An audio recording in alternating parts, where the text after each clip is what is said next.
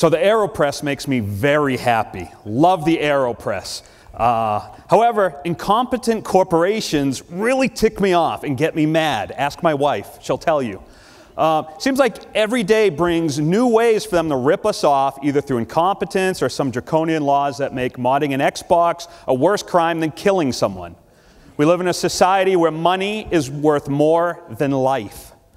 And that's shown particularly in our government, who makes laws that set corporate, excuse me, I'm sorry, corporate greed on top of everything else. Our government passes laws that curtail severely our rights as consumers, all in the name of either fighting piracy or the ever present war on terror. Doesn't seem to matter who's in office, one administration codifies and then extends the anti consumer policies of the previous. It's a repeatable pattern. The fix is in, the deck is stacked against us. It seems like there's nothing we can do.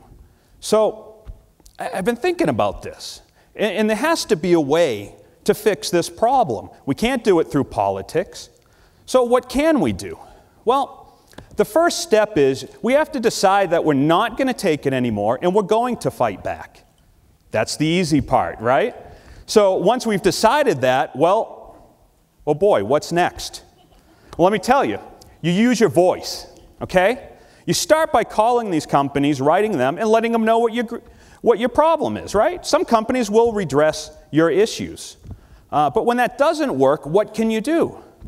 Well, we live in a great time because most of us can make uh, you know, a good portion of the world know our problems either through Twitter, Facebook, Digg, Newsvine, whatever the case is. We can tell the world that we've been wronged.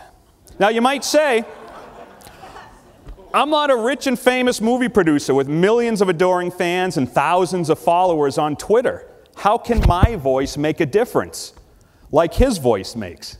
Well, you need to deliberately set up your social connections so that you have people with common interests, common passions, and a common direction, so that together you can start to impact change. Now imagine calling a company and say, 10 of your friends call this company and say, You wronged one of us, we're all canceling.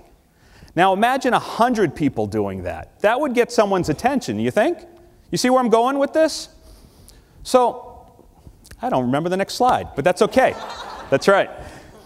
In doing this, we're going to help the corporations because we're going to kill the incompetence they seem to not be able to do. We wouldn't allow incompetence in our life or our business or workplace. Why would we allow it with the people who take our money? When all else fails, small claims court is your friend. Done a lot of research on this. Small claims court is the most underutilized weapon in the consumer's arsenal. There's lots of great information on how to easily take someone to small claims court. But you know, this isn't all about negativity and fighting back. We're not just fighting against what we hate, but we're fighting for what we believe in and what we want. We want to band together and actually make positive changes, not just to kill incompetence, right? We need communities to get together and come up with ideas on how we can, I'm sorry, we can band together and, and do something like create a, a farming co op or maybe create a group that buys American, right? In, in the numbers we have, there's power. Five people might be able to get better you know, prices on some sporting goods. 25 might get a little you know, money off their cell phone, but you know, a 1,000 people, 10,000 people, they could write that cell phone plan that actually fits their lives. And you may have to start small, but the thing is, if you can get a few people in the crowd moving in sync and in the same direction, the crowd will notice, they will watch, and they will follow. If local motors can create an open sourced car, why can't some local geeks get together and create an open, a great open source DVD player or a music player that works the way we want it to and wouldn't make me a felon for connecting it to Linux instead of Mac or Windows?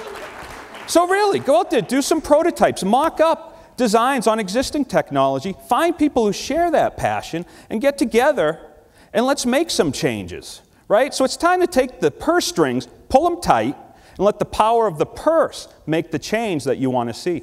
Thank you.